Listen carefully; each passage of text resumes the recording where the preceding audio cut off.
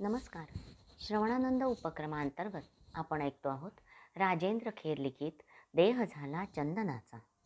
त्या दिवशी सकाळी खरोखरच पांडुरंग शास्त्रींनी आपला जीव धोक्यातच घातला होता.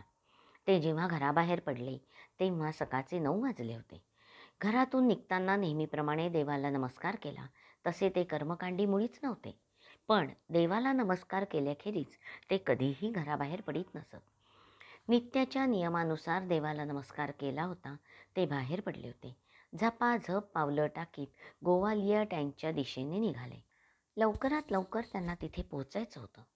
चालताना ते आपल्या आवडीचा एक श्लोक हळुवार आवाजात गुणगुणत होते. लभ्या धरित्री तव विक्रमेण जायाश्च वीर्यास्त्रबलौर्विपक्ष अतः प्रकर्षाय विधिर्विधेय। प्रकर्षतन्या हिरणे जयश्री पांडव वनवासात आपलं व्रतस्थ जीवन जगत होते. तेव्हा एके दिवशी प्रत्यक्ष वेदव्यास पांडवांना भेटायला वनात येतात. युधिष्ठिराला उपदेश करताना ते सांगतात तेरा वर्षांनंतर तू तुझ्या राज्यात परतल्यावर प्रजा तुला स्वीकारील? ते शक्य नाही. दुर्योधनानं राज्यकारभार इतका उत्तम चालवलाय की लोक तुला विसरलेत. अशा वेळी शक्तीची उपासना करून दिव्यास्त्र मिळवणं तुझं कर्तव्य ठरतं. हा श्लोक मनात गुणगुणत असताना पांडुरंग शास्त्रींचे सांप्रतकालच्या परिस्थितीनुसार विचार चालले होते. युरोपमध्ये आता महायुद्धाचा वणवा पेटला होता.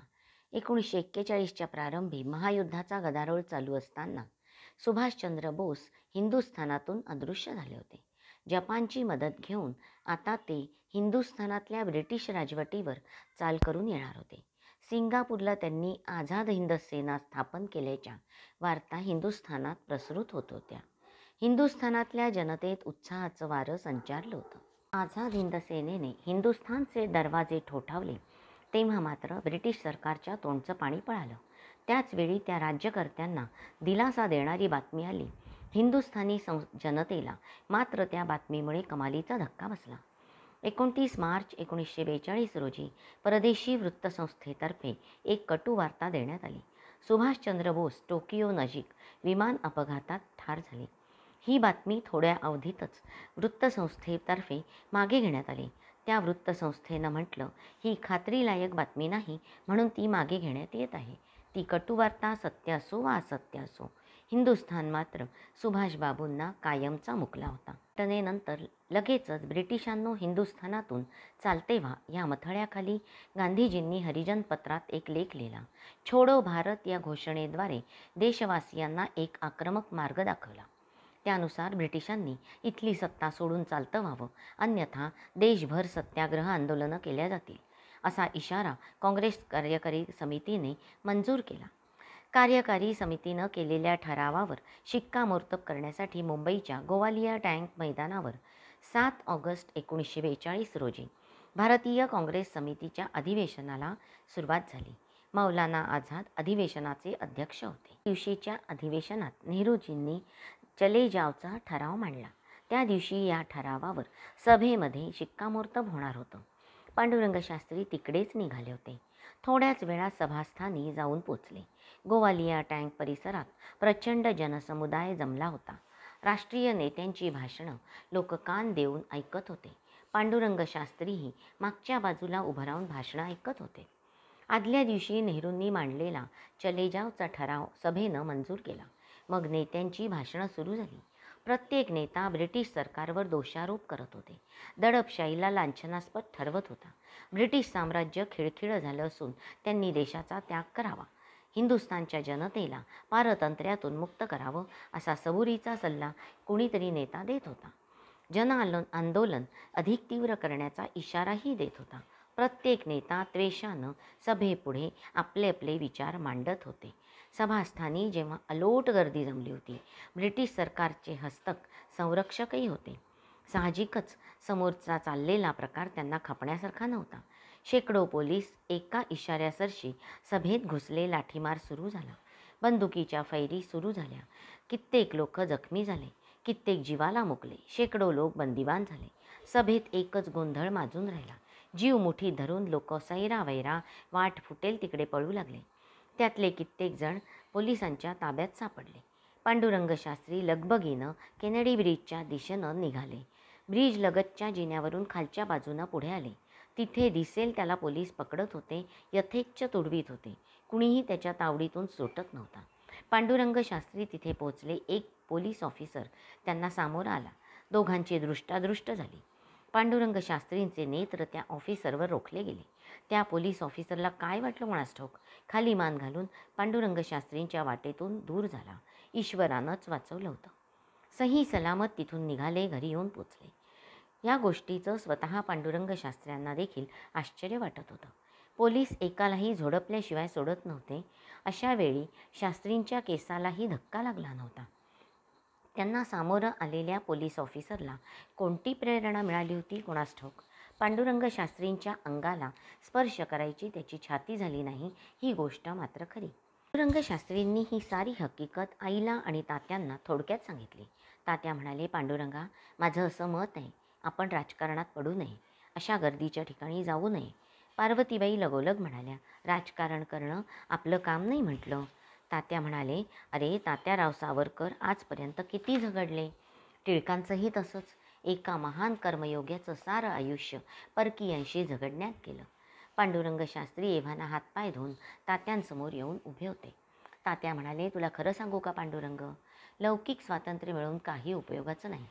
दीडशे वर्षात इंग्रजांनी जी आपली मानसिकता तयार केली आहे ती नव्या लोकतांत्रिक घटनेची चौकट आपल्याभोवती जी निर्माण केली आहे त्यातून बाहेर पडल्याशिवाय आपल्याला खऱ्या अर्थानं स्वातंत्र्य मिळणार नाही. बरोबर बोललात तात्या. माझंसुद्धा हेच मत आहे. असा बदल घडून येण्यासाठी बराच काळ थांबावं लागेल.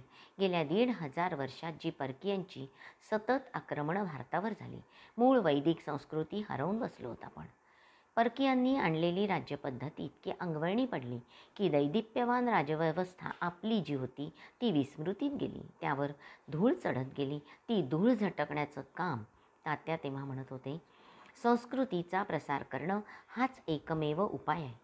ते काम तुला करायचे राजकीय चळवळीत तू पुन्हा पडू नकोस. पांडुरंग शास्त्री शांत राहिले. मिश्किलपणे पार्वतीबाई म्हणाल्या याला आता एकच उपाय लग्न. पांडुरंग शास्त्रींनी कोणतंच मतप्रदर्शन केलं नाही. लग्नाचा प्रस्ताव पांडुरंग शास्त्रींपुढे मांडला. विशेष काही घडतंय असं त्याला वाटलंच नाही. लग्नासंबंधी काही निश्चित विचार होते. लग्नाचं वय झालं म्हणून ते मुळीच लग्नाला उभे नव्हते. महर्षी कश्यपांचा आदर्श त्यांच्या डोळ्यासमोर होता. कश्यपांनी अर्बुद पर्वताच्या परिसरात उग्र तप केलं होतं. तप म्हणजे एका पायावर उभं राहणं नाक धरून पायावर पाय चढवून बसणं नव्हे. मांगल्याकडे जाणारं निश्चित ध्येय असणारं तप व्यक्तीजवळ असायला हवं. कश्यप ऋषी ऋषींनी अर्बुद पर्वताच्या परि परिसरात लोकांची जीवनं बदलली. जीवनाकडे बघण्याचा खरा दृष्टिकोन दिला. प्रभू कार्याची हानी होऊ नये म्हणून लग्न आवश्यक आहे म्हणून लग्न केलं. ऋषी मुनींचा आदर्श पांडुरंग शास्त्रींपुढे होता. त्यांचा लग्नाला मुळीच विरोध नव्हता. आपली धाकटी भगिनी शांता हिचा विवाह अगोदर व्हावा असं त्यांना मनापासून वाटलं. वडीलधाऱ्या मंडळींच्या आग्रहापुढे त्यांचं काहीही चाललं नव्हतं. एके दिवशी त्यांनी तात्यांनी विचारलं की पांडुरंगा हे एक चांगलं स्थळ आलं आहे सरळ साधी माणसं दिसतात. आपल्याला हवी तशी. नाव काय म्हणालात? सिधई. सिधई कुटुंब रत्नागिरी जिल्ह्यातल्या गावखडी गावचं. पण मुलीचे वडील मुंबईला स्थायिक आहेत. गिरगावातल्या केशवजी नाईक चाळीत राहतात. वडील कुठे असतात?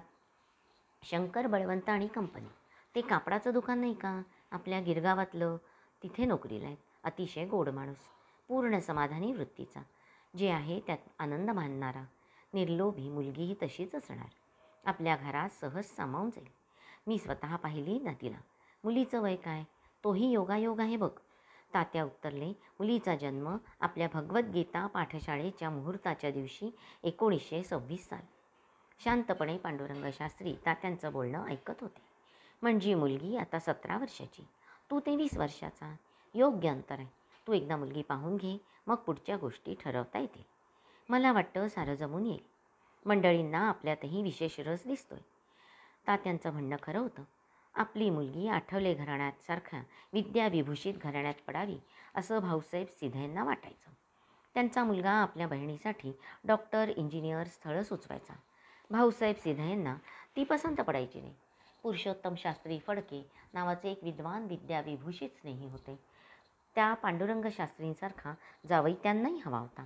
म्हणूनच पांडुरंग शास्त्रींमध्ये त्यांना विशेष रस होता. तात्या त्यांच्या घरी जाऊन मुलगी पाहून आले. मुलगी पसंत होती. ते आता पांडुरंग शास्त्रींना मुलगी पाहण्याचा आग्रह करीत होते. तात्यांची आज्ञा शिरसावंद्य मानून पांडुरंग शास्त्री यथावकाश सिधयेंच्या घरी जाऊन आले. मुलगी दाखवण्याचा अनौपचारिक कार्यक्रम झाला. पांडुरंग शास्त्रींना पाहिल्यावर सिधे मनाशी म्हणत होते फडके शास्त्रींसारखा हिरा हा आहे.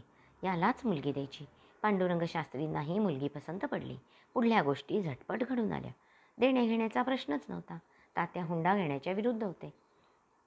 पूर्वी आठवले घराण्यात कुणीही हुंडा घेतला नव्हता. विना हुंडा लग्न ठरलं. रोह्याच्या दत्त मंदिरात लग्न लागावं एवढीच पांडुरंग शास्त्र्यांची इच्छा होती. त्या गोष्टीला सिधेंनी कोणती हरकत घेतली नाही. उलट कोकणातल्या नातेवाईकांनाही रोह्याला येणं सोयीचं जाणार होतं. विवाहस्थळ निश्चित झाल्यावर अल्पावधीत लग्न उभं राहिलं. मी वृषाली केळकर आजच्या वाचनाचा इथे समारोप करते. हरिओम तत्सत. श्रीकृष्णार्पणमस्तू.